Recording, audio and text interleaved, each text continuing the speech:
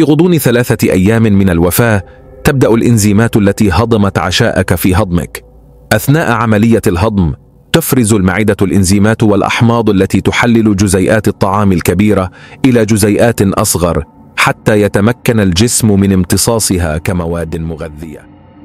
الأخطاء الطبية تقتل أكثر من 250 ألف أمريكي كل عام. لو كانت مرضا لكان السبب الرئيسي الثالث للوفاة في الولايات المتحدة.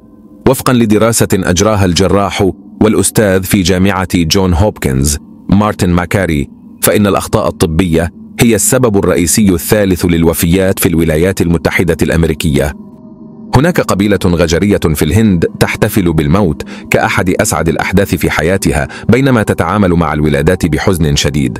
قبيلة ساتيا هي مجموعة مكونة من 24 عائلة منتشرة في جميع أنحاء ولاية راجستان. يعيشون في ملاجئ مؤقتة على طول الطرق.